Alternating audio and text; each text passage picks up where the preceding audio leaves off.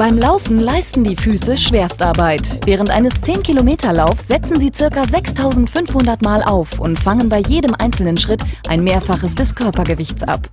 Deshalb verdient der Laufschuh eine besondere Beachtung.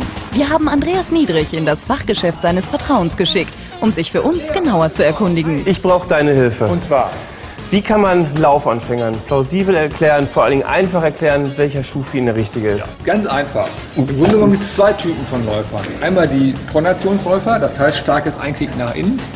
Und die Neutralläufer, die Supinierer, die mehr über außen kommen. Und dementsprechend sind die Schuhe auch aufgebaut. Ja, und wie kann man das sehen? Ich dir das mal so an Schuhen zeigen, wie das aussehen könnte? Ja, vor allen Dingen, man guckt ja immer erstmal nach dem Äußeren. Was sieht schön aus? Ja, Ne? das Aussehen sollte eigentlich keine Rolle spielen.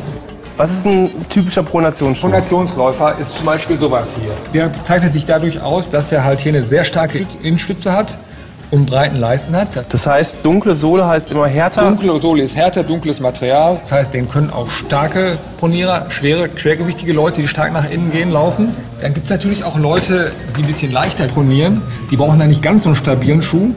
Das heißt, der Schuh ist so ein bisschen taillierter und diese Innenstütze ist nicht ganz so steif. Auf der anderen Seite gibt es dann die Supinationsschuhe.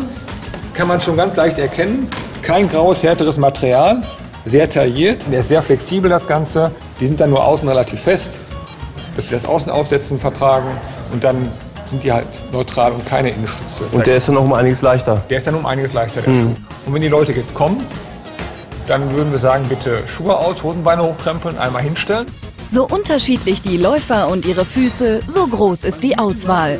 In einem gut sortierten Fachgeschäft wird man individuell und markenunabhängig beraten. Ein guter Verkäufer wird Beine und Füße genau anschauen, nach dem Gewicht und den Laufgewohnheiten fragen. Der Schuh sollte möglichst dämpfend wirken, das Abrollen des Fußes gewährleisten und eventuelle Fehlstellungen korrigieren. Bei extremen Fehlstellungen sollten Sie sich allerdings an einen Orthopäden wenden. Zudem sollte man die Socken zur Anprobe tragen, die Sie auch beim Laufen verwenden, denn die richtige Größe des Schuhs ist entscheidend.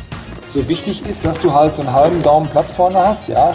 Im, Im Sitzen einen ganzen Daumen, im Stehen halt einen halben Daumen.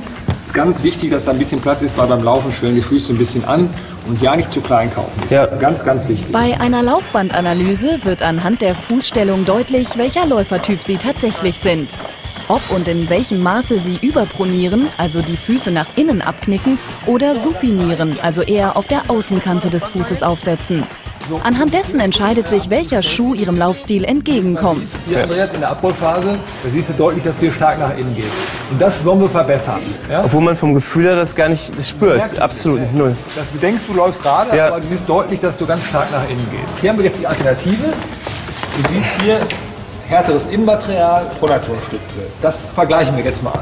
Anhand des direkten Vergleichs ist die Auswirkung der unterschiedlich gestützten Schuhe auch für den Laien leicht erkennbar und lässt Sie den für Sie optimalen Laufschuh finden. Pronationsgeschützten Schuh und rechts den ersten Schuh. Ja? Und dann vergleichen wir das mal.